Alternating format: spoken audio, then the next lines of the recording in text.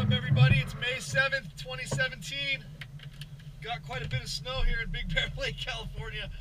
Um, yeah, May 7th. I can't believe it. Anyway, feels more like January 7th. Look at this, guys. Just amazing.